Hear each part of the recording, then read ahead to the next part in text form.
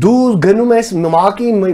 դատարան, միջազգային դատարան ներկայացնում ես այդ փաստաթղթերը, ասում ես որ այ սրանք են փաստաթղթերը, համաձայն որի Արցախը Հայաստանի անբաժան մաս է։ Սրանից է վախենում Ադրբեջանը, որ փորձում է արագացնել խաղաղության պայմանագիր կորզել։ Իհարկե սրանից է վախենում։ Նիկոլ Փաշինյանը գտածո է Ալիևի համար, Պուտինի համար, Էրդողանի համար, հասկացեք հայ ժողովուրդ Նրանք օր առաջ ուզում են սրանցից այդ ստորագրությունը ստանան, որտեղ լավ են հասկանում, որ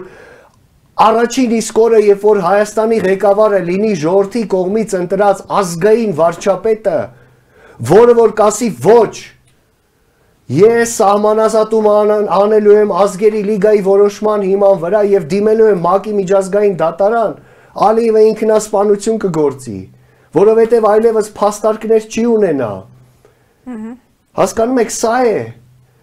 Արևմուտքը զարմացած նայում է Հայաստանի վրա, մենք հանդիպել ենք ԱՄՆ գործիչների հետ, որոնք զարմացած ապշած են պարզապես, ասում են, լավ դուք ունեք Վիլսոնյան իրավարար վճիր, ազգերի լիգայի վճիր, 30 տարի դուք ինչի եք ես հիմարությամբ զբաղված, փոխանակ այս հաղթական փաստաթղթերը, հաղթաթղթերը չէիք բերում մեյդան, ինչպես ասում են թուրքերը։ Հասկանում եք։ Լավ, իսկ հայ-թուրքականի մասով նույնը հայ-թուրքականի մասով։ Այո, սիրելի Թուրքիա, ճակերտավոր սիրելի։ Մենք պատրաստ ենք գնալ կարգավորմանը։ Հայաստանը հարգում է Թուրքիայի տարածքային ամբողջականությունը։ Եվ Թուրքիան պիտի հարգի Հայաստանի տարածքային ամբողջականությունը։ Մենք թուրքական հողերի հանդեպ հավակնություն չունենք։ Իսկ հայ-թուրքական տարածքային ամբողջականության խնդիրն ու սահմանի խնդիրը լուծվել է Վուդրո Վիլսոնյան իրավարար վճռի։ Դուք սիրելի թուրքեր, որպես պարտվող երկիր դիմել եք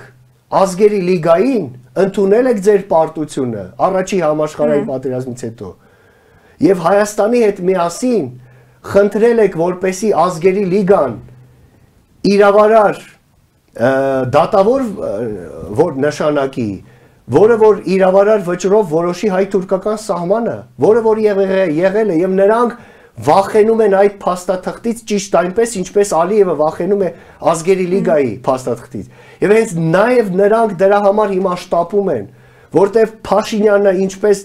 գտածո է Ալիևի համար, նույնքան գտածո է Էրդողանի համար։